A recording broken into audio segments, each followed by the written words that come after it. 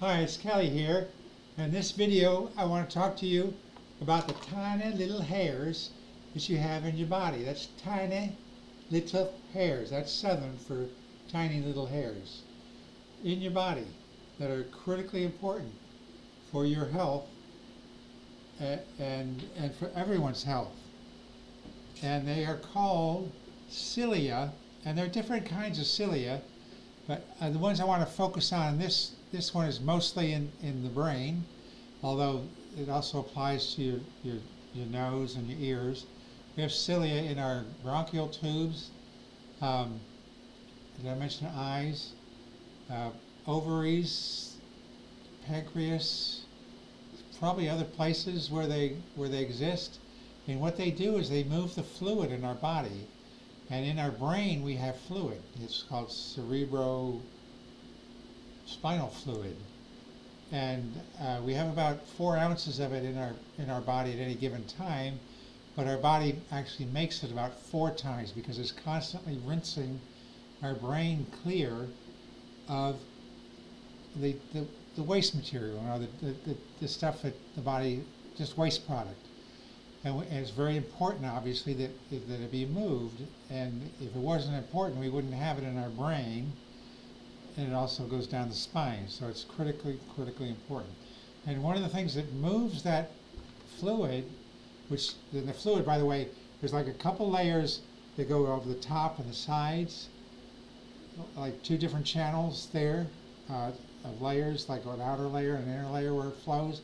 And it flows sort of like maybe where the pineal gland is, sort of in that general vicinity. In there, the stuff is flowing and it's called the third ventricle, and that's what that's where the tiny little hairs are, and they they move the fluid, and um, but unfortunately it's well or fortunately it's activated electronically, and but with with the things that we're exposed to these days, we're exposed to a lot of a lot of uh, positive ions that are not good and they slow down those hairs. And so when we're trying to clean our brain, you know, we rinse it out four times a day, basically. Um, if those hairs aren't moving it, see, they move, they're so tiny, they're like one one hundredth the width of the diameter of a, of a human hair. So, you know, let's see if I can find a hair here, just one. Imagine one hundredth of, of that. But they, they work together in concert to move the fluid. And they're supposed to go about 900 beats a minute. But if you have too many positive ions, it slows down to about 600. It gets it gets gunky, sticky, and they and they you know so the one is going this way, the other one's going that way and this way. So it's not moving the fluid the way that we want it to to wash our brain. you you know, so we end up with stagnant fluid in that area of our body. And so, and you know, things that are stagnant generally kind of stink. I don't know what the smell's like in there, but if it's stagnant and it's got waste product in it, it's probably not the best odor in the world, right? And so we want to clear that out. We want to keep it clean so that our brain can function properly. And just as a related note, you know, we have these cilia in our nose, and, and those cilia are involved with our ability to smell things. And in Alzheimer's, the first one of the first signs of, of it is the loss of a sense of smell. And so uh, we'll hear cilia, and then we got cilia in the brain. Cilia is actually located in this third ventricle of the brain, which is sort of around where the pineal gland is. Um, and so that's cilia. This is cilia. And so if if maybe it's slowed down here, it's not working properly, it's related, it's, it's an indication that what's, it's not working in the brain. And my understanding is, at least some doctors say that that uh, Alzheimer's starts in the third ventricle of the brain. It kind of kind of creeps up like a staircase to the to the front part, front part of the brain. Um, in a lot of cases. So it's kind of interesting that we've got this stagnant fluid, you know, so even even before we manifest, say, having Alzheimer's, which is exploding, right? If our brain is kind of polluted a little bit, just a little bit here, a little bit there, over time, it also means the brain's not going to function the way we want it to, right?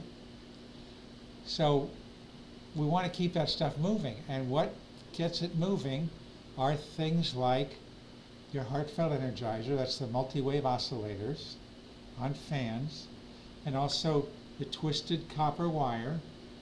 I call them twizzle sticks. You, tape them lengthwise on your the top side of your of your ceiling fans. You, you know you bend them in half. Use a power drill. Gently let them tighten up until they start to buckle.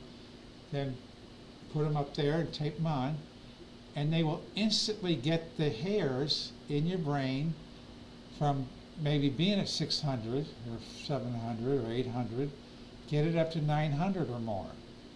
Get that fluid moving, and so that you so that you can think more clearly, and that you won't lose your sense of smell. By the way, this fluid also goes, it has some contact with the ears you know, a lot of these days, a lot of people have ringing in their ears. You know, um, and a lot of it has to do with. They say, you know, they get a 5G tower near them, and bingo, they got it.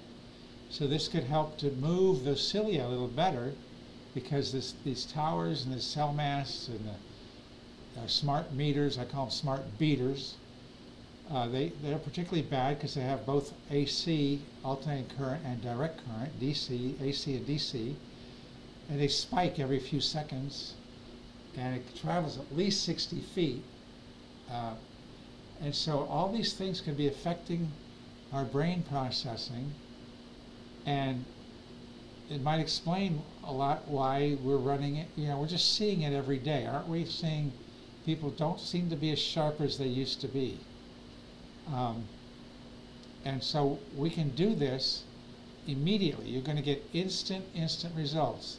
So uh, now is a really, really good time to get yourself, you know, like say 10 gauge, 12 gauge copper wire, put it in a, in a drill. It's worth buying the drill. You're going to make your brain work better the rest of your life, turn it on, get it twisted, gently twisted, tape it up there, turn it on, let it run all the time. And if it's too cool, I think a lot of these fans will go in reverse uh, direction so you don't, so they're not too cool. Although this time of the year you don't have to worry about that too much, but let it run all the time because we're being exposed to our smart beaters all the time. And so this will help to get your brain thinking clearly and maybe get rid of the ringing in your ears and help your sinuses so you can, you know, so you can smell better. You know, notice notice the aromas. We have them in our bronchial tubes. You know, we want our ovaries working if you're female, and the pancreas for sure. Everybody has a pancreas. We want that working well. And so we, we want this we want this fluid not being stagnant, turning into pollute, a polluted brain. What do they call it? Stinking thinking. Remember I referred to that that uh, you know maybe it doesn't smell too good. Well, maybe stinking thinking is a real thing. Maybe it's literal. So if you could clear that up, that would be great. And also, let me plug my book while we're at it. Um, it's here out, out of sight. Um, there it is. I don't know if you can see it that well. Um, and the reason I mention it, here it is. The is there a question that heals instantly? Is that by clearing up the stinking thinking in your brain, you're going to get your brain working better. This works with the, the non-material.